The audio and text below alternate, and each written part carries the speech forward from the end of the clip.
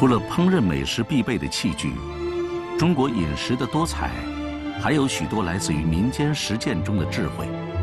这些奇思妙想，丰富了我们的食物，实现了对食物味道完整彻底的体验，成为中国饮食器具中最为令人惊叹的创造。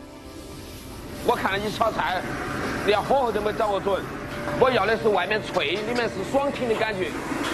你炒这个菜方法都错了，先下辣椒再下花椒，颜色有点浅了。倒回去，倒回去。蓝明禄年少入行，进入川菜大师门下学艺。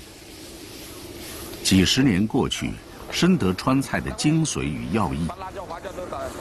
川菜味型丰富，蓝明禄一直致力于研究川菜调味中的变化与秘密。我们职业厨师，你要想把味道玩好哈。你必须是要了解每一个调料它的特性，而真正令他着迷的，是在四川随处可见的泡菜。制作一坛完美的泡菜，对研究川菜调味来说意义非凡。腌好泡菜，坛子至关重要。在各种泡菜容器中，别人废弃的老坛子，对蓝明禄来说都是宝贝。从我选哈，我选老坛子，因为老坛子啊，它的釉是单面，它里面是无釉的。老坛子大多是陶土烧制，胎体薄，易于透气，即使长时间的腌制，依旧能保持蔬菜新鲜的状态，吃起来清脆爽口。挑选坛子，大肚小口最为适宜。日久天长的使用中，老坛子个个都充满了灵气。老人讲的，我们要祭坛神，把一个草纸点燃了，都在缸里面去，把碳线随着我们一夹，盖上盖子，哦，它里面的空气燃烧完了之后，碳线水就要被吸进去，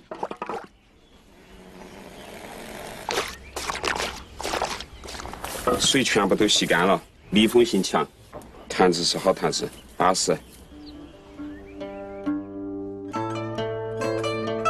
已经入秋，各种蔬菜新鲜上市。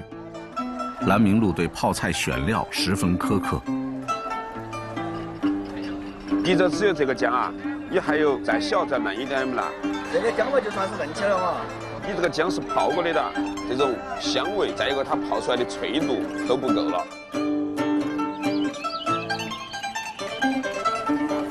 首先。把嫩姜、豇豆、蒜苔、辣椒、洋姜、胡萝卜等等应季食材一一洗净，阴干备用。你们要选把戏点哦，辣椒破了一点点口头的，有一点点那个哦烂了的和黑斑的都不料，快点哦，中午了哈，得要得要得，快哦，来不来？来满了，那就到了。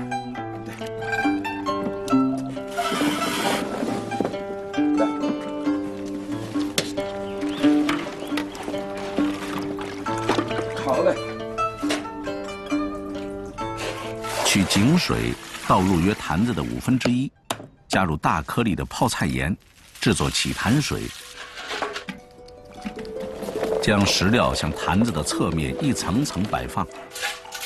给坛水要和下料交替进行，食料必须完整的，保证食材不变味儿。起老坛水的料主要以姜、辣子、萝卜为主，泡菜的香料放在中部。其他的辅料主要作用在于味道的互补，使整个味道达到中和。泡菜不要加得太满，水刚好淹过菜为宜。加入适量白酒后封坛。不知道当初是什么样的人发明了如此简单而又如此科学的泡菜坛子。只要在坛沿口倒上一碗水，再扣上一只大碗。坛子里的泡菜就完全处于无氧发酵中了。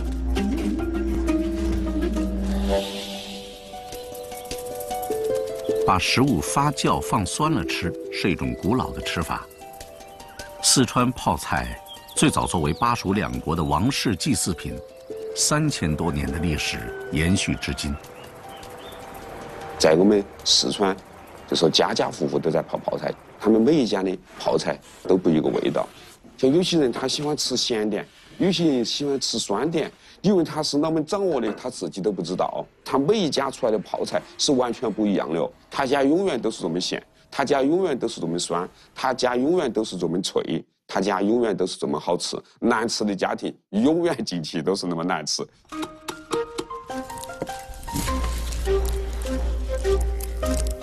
烧焦凉粉是一道乡土风味浓郁的民间川菜。蓝明路做出的味道迥异他人，不仅在于手法传统，更在于他那一勺老坛水的加入。泡菜的复合香味激发了食材的生机，好像遇见这味道的食物都突然被唤醒了一样，一碗凉粉便有了神奇的美味。我一直都认为是泡菜。它是有生命的，它是非常灵气的。在缺氧环境下，乳酸菌把蔬菜中的糖分解成乳酸，还可以分解蔬菜中的蛋白质，产生鲜味的氨基酸，从而使得蔬菜的风味发生极大的变化。三四天后，发酵当中的食材会排出气体。甚至会把坛盖顶开，同时坛子会发出咕噜咕噜的声音。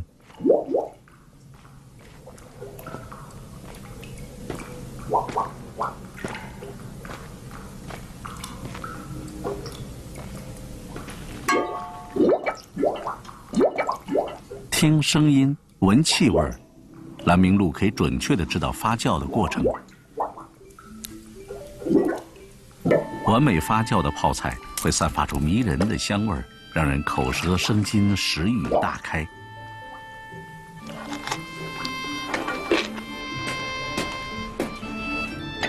最能凸显泡菜的复合味，带给川菜神奇的菜品是西蜀老坛泡菜鱼。这道菜加入了大量泡菜，鲜香的泡菜能够增香提味，去除鱼腥。它把所有的调味料都变得那么的柔和，那么的香。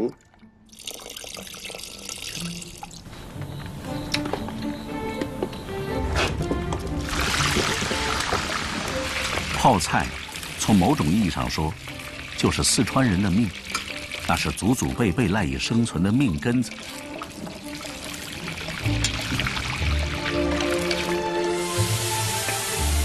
泡菜作为川菜之骨，形成了由开胃菜到调料到配菜的演变。